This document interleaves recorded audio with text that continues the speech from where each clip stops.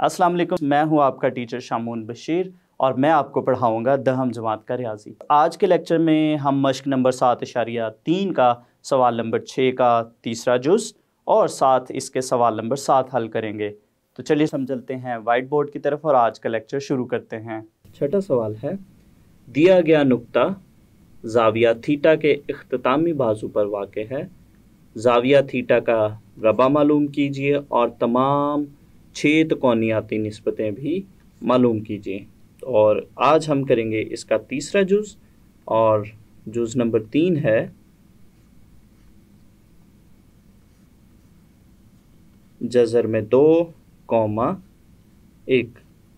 तो यहाँ पे अगर हम देखें, हमारे पास एक्स की कीमत भी मुस्बत है, और इसी तरह से जो वाई है वाई की कीमत भी मुस्बत है। तो इसका मतलब है कि हमारे पास ये जो दिया गया नुक्ता है, वो पहले रबा में मौजूद है। तो पहले रबा में चूँकि ये मौजूद है तो इस नुक्ता के मुताबिक हम इसकी शक्ल बनाते हैं और उसके बाद जो है वो हम छः की छः तकोनियाती नस्बतों को मालूम करेंगे। तो ये हमने दिए गए नुक्ता के मुताबिक जो है वो शक्ल बना ली। तो ये हमारे पास एक कायमत जाविया मुसलस बन रही है। यहाँ पे अगर हम देखें तो हमारे पास एक्स की कीमत है जज़र में दो, और इसी तरह से हमारे पास जो वाई है वाई की कीमत है एक।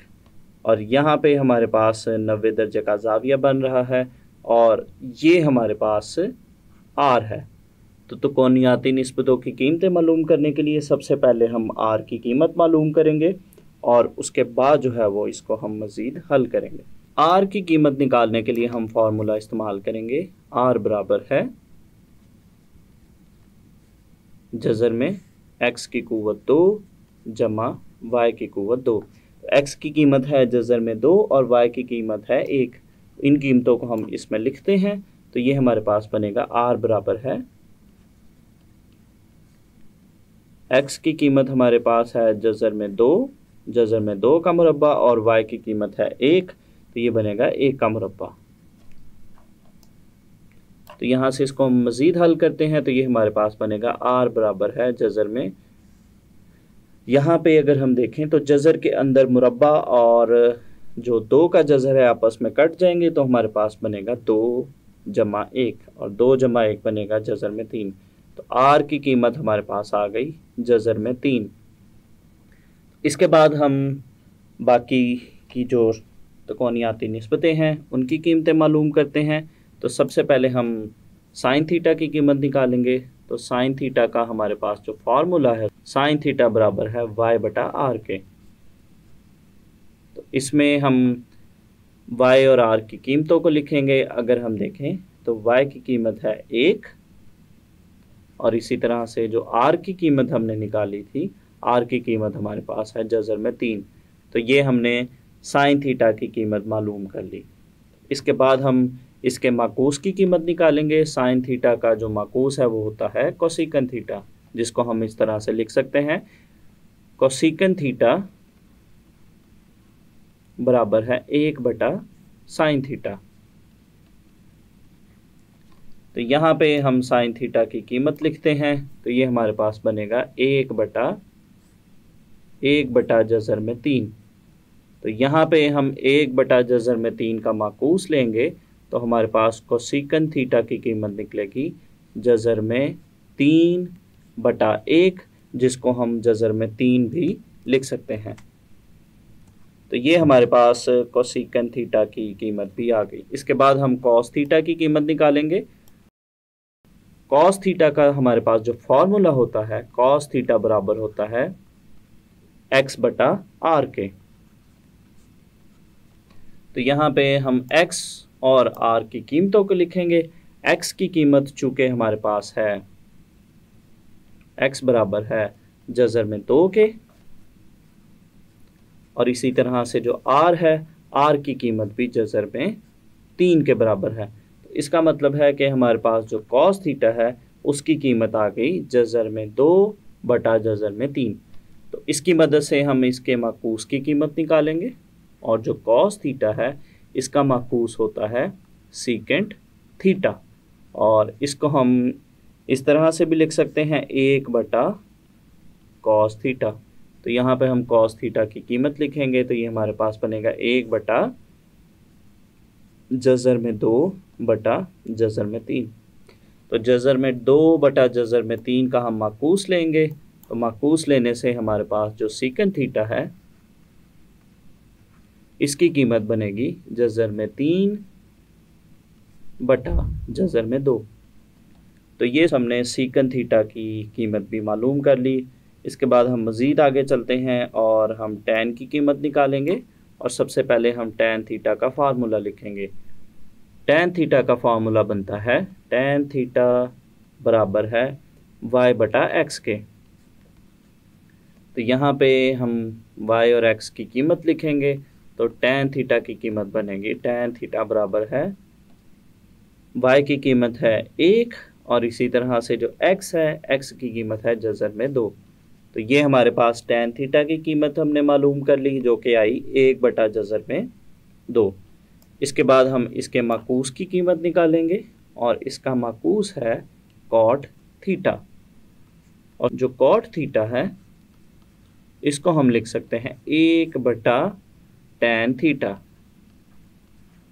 तो यहाँ पे हम टेन थीटा की कीमत लिखेंगे तो ये हमारे पास बनेगा एक बटा एक बटा जजर में दो। तो एक बटा जजर में दो का हम अगर माकूस लें तो माकूस लेने से हमारे पास जो कॉट थीटा है कॉट थीटा की कीमत हमारे पास बनेगी जजर में दो बटा एक, और इसको हम सिर्फ़ जजर में दो भी लिख सकते हैं। तो ये हमने दिए गए नुक्ते की मदद से पहले हमने उसका बताया कि किस रबा में मौजूद है और उसके बाद हमने इसकी छः की छः तकौनियाती नस्बतें भी मालूम कर ली। तो इसके बाद हम करेंगे सवाल नंबर सात और सवाल नंबर सात है, अगर कॉस थीटा बराबर है नफ़ी दो बटा तीन के और जाविया थीटा का जो अख्तामी बाजू है दूसरे रबा में है, रबा में हो तो बाकी तकोनियाती तफ़ाइल की कीमतें मालूम करें। तो यहाँ पर हमारे पास एक तकोनियाती नस्बत की कीमत दी गई है, जो कि है कॉस थीटा नफ़ी दो बटा तीन के। और इसमें हमारे पास जो जाविया का अख्तामी बाजू है अख्तामी बाजू के बारे में भी हमें बताया गया है कि थीटा का जो जाविया थीटा है, उसका अख्तामी बाजू दूसरे रबा में है। तो ये कुछ अहम बातें हैं, चूँकि दूसरे रबा में मौजूद है थीटा जाविया। तो इसके मुताबिक ही हमारी जो बाकी की आएँगी तो कौनियाती नस्बतें तो उनकी अलामत भी फिर हम दूसरे रबा के मुताबिक लगाएँगे। तो सबसे पहले हम इसका हल शुरू करते हैं और दी गई तो कौनियाती नस्बत को लिखते हैं। कॉस थीटा बराबर है नफ़ी दो बटा तीन के। अगर मैं आपको कॉस थीटा के फार्मूला के बारे में बताऊँ तो कॉस थीटा का जो फॉर्मूला था, वो था एक्स बटा आर के। तो ये फार्मूला लिखने से हमें आसानी से यहाँ से एक्स और आर की कीमतों के बारे में पता चल जाएगा, और उसकी मदद से जो है वो हम फिर दूसरे रबा में इसकी हम आसानी से शक्ल बनाएँगे, और उस शक्ल की मदद से फिर हम नामालूम कीमत निकालने के बाद जो तकौनियाती नस्बतें हैं बाकी की, वो निकालेंगे। तो यहाँ पे चूँकि हमारे पास जो आर है, हमने पिछले लेक्चर्स में भी बताया था मैंने आपको कि जो आर की कीमत है वो हमेशा मुस्बत होती है। तो आर की कीमत इसका मतलब है कि हमारे पास तीन के बराबर है और एक्स की कीमत फिर होगी नफ़ी दो के बराबर। तो इन कीमतों के मुताबिक जो है वो हम इसकी दूसरे रबा में शक्ल बनाते हैं और फिर हम इसको मज़ीद हल करते हैं। तो यहाँ पे हमने ये इसकी शक्ल बना ली है। तो हम जो यहाँ पे बनी है हमारे पास, जो कायमत जाविया मसलस इसके रासों को हम ए बी और सी का नाम देकर भी हल कर सकते हैं, जैसा कि हमने मिसालों में भी हल किया था। तो यहाँ पे चूँकि अभी हमने इनको एक्स और आर का नाम दिया है तो उसकी मदद से अगर हम देखें तो यहाँ पे ये हमारे पास एक्स की कीमत है, जो कि नफ़ी दो है, ये हमारे पास है आर और ये यहाँ पे हमारे पास बनेगा वाई जिसको हम मसला फ़ीसा गोरस की मदद से मालूम कर सकते हैं। तो यहाँ पे हम हमारे पास जो मसला फ़ीसा गोरस के मुताबिक हमारे पास जो फार्मूला बनेगा, वो बनेगा आर का मुरबा बराबर है एक्स का मुरबा जमा वाई का मुरबा तो यहाँ पे हम इन कीमतों को लिखते हैं तो ये हमारे पास कुछ इस तरह से बनेगा। आर की कीमत हमारे पास है तीन तीन का मुरबा एक्स की कीमत है नफ़ी दो नफ़ी दो का मुरबा और वाई की कीमत हमने यहाँ से मालूम करनी है। यहाँ से इसको हम मज़ीद हल करते हैं तो ये हमारे पास बनेगा नौ, बराबर है नफ़ी दो का मुरबा चार बनेगा, बराबर जमा वाई की कुत दो। तो चार को जो है वो हम बाएँ जानब लेकर जाएँगे तो ये हमारे पास बनेगा नौ, नफ़ी चार, बराबर है वाई की कुत दो। तो नौ में से हम चार को नफ़ी करेंगे तो ये हमारे पास बनेगा पाँच बराबर है वाई की कुत दो। तो यहाँ से इसको हम मज़ीद हल करते हैं और इसको हम इस तरह से भी लिख सकते हैं वाई की कुत दो बराबर है पाँच के। तो यहाँ से मुरबा ख़त्म करने के लिए इसका हम तरफैन में जजर लेंगे। तरफैन में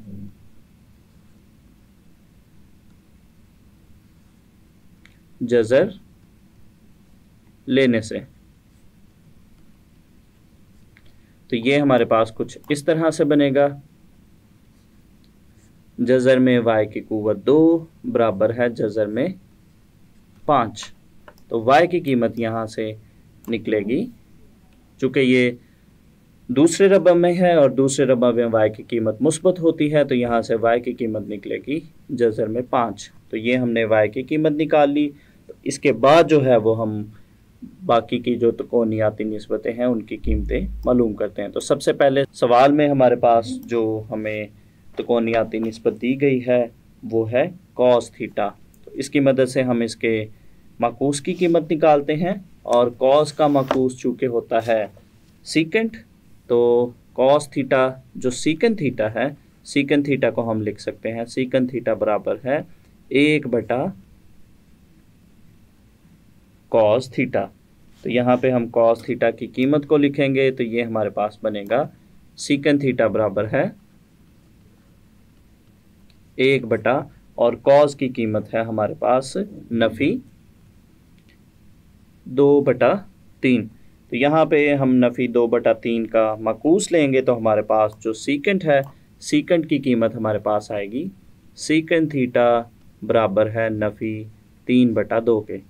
तो ये हमने कॉज की कीमत की मदद से सीकेंट की कीमत भी मालूम कर ली। इसके बाद हम निकालते हैं साइन की कीमत साइन थीटा और साइन थीटा हमारे पास चूँकि होता है अमूद बटा वितर के बराबर होता है, और यहाँ पे दी गई रकमों के मुताबिक ये अमूद हमारे पास वाई है और वितर हमारे पास आर है। तो यहाँ पे हम वाई और आर की कीमतों को लिखेंगे। तो वाई की कीमत जो हमने मालूम की है, वो है जजर में पाँच। और इसी तरह से हमारे पास जो आर है आर की कीमत हमारे पास तीन है। तो ये हमने साइन थीटा की कीमत भी मालूम कर ली। इसके बाद हम निकालते हैं इसके माकूस की कीमत, और हमारे पास इसका जो माकूस है, वो है कोसिकन थीटा। तो वो बनेगा कोसिकन थीटा बराबर है तो कोसिकन थीटा बराबर होता है एक बटा साइन थीटा के। तो यहाँ पे हमारे पास साइन की कीमत दी गई है, जो कि है जजर में पाँच बटा तीन। तो यहाँ पे हम साइन की कीमत लिखेंगे तो ये हमारे पास बनेगा कोसिकेंट थीटा बराबर है एक बटा जजर में पाँच बटा तीन। तो यहाँ पे अगर हम देखें तो इस कीमत का हम माकूस लेंगे तो हमारे पास कोसिकेंट की कीमत निकल आएगी तो जजर में पाँच बटा तीन का अगर हम माकूस लें तो वो बनता है तीन बटा जजर में पाँच। तो कोसिकन थीटा की कीमत हमारे पास निकलेगी तीन बटा जजर में पाँच। तो ये हमने साइन थीटा की मदद से उसका जो माकूस है कोसिकन थीटा, उसकी कीमत भी मालूम कर ली। इसके बाद हम मज़ीद आगे चलते हैं और हम टैन की कीमत निकालेंगे। तो सबसे पहले हम टैन का फार्मूला देखते हैं। तो जो टेंजेंट थीटा होता है, टेंजेंट थीटा चूँकि होता है अमूद बटा कायदा के बराबर और दी गई जो मुसलस है, जो हमने कामत जाविया मुसलस बनाई है, उसमें हमारे पास जो अमूद वो वाई है और इसी तरह से उसका जो कायदा है, कायदा उसका है एक्स के बराबर। तो यहाँ पे हम वाई और एक्स की कीमतों को लिखेंगे ताकि हम टैन की कीमत निकाल सकें। हमारे पास जो वाई है, उसकी कीमत हमने जो निकाली थी जजर में पाँच थी तो ये हमारे पास बनेगा टेन थीटा बराबर है जजर में पाँच। और इसी तरह से हमारे पास जो x दिया गया है, x हमारे पास दिया गया है नफ़ी दो। तो ये हमारे पास बनेगा टेन थीटा बराबर है नफ़ी जज़र में पाँच बटा दो। तो ये स्टूडेंट्स हमने टेन थीटा की कीमत भी मालूम कर ली। इसके बाद हम इसके माकूस की कीमत निकालेंगे और टेन का माकूस होता है कॉट तो कॉट थीटा हमारे पास बनेगा एक बटा टेन थीटा तो यहाँ पे हम टेन की कीमत लिखेंगे तो ये हमारे पास बनेगा एक बटा नफ़ी, जज़र में पाँच बटा दो। तो यहाँ पे स्टूडेंट्स हम इस कीमत का माकूस लेंगे तो इस कीमत का माकूस लेने से हमारे पास कॉट की कीमत निकल आएगी। और कॉट कीमत की कीमत हमारे पास निकलेगी कॉट थीटा बराबर है नफ़ी दो बटा जज़र में पाँच। तो ये हमने टेन की कीमत की मदद से कॉट की कीमत भी मालूम कर ली। तो यहाँ पे हमारे पास सवाल नंबर सात का हल मुकम्मल हो गया, चूँकि हमने जो बाकी की तमाम तकोनियाती नस्बतें थी वो मालूम कर ली। आज के लेक्चर में हमने मश्क नंबर सात इशारिया तीन का, सवाल नंबर छः का, तीसरा जुज़ और इसके साथ साथ हमने सवाल नंबर सात हल किया। तो उम्मीद करता हूँ आपको आज का लेक्चर अच्छे से समझ आया होगा। अगले लेक्चर तक के लिए दीजिए इजाज़त। अल्लाह हाफिज़।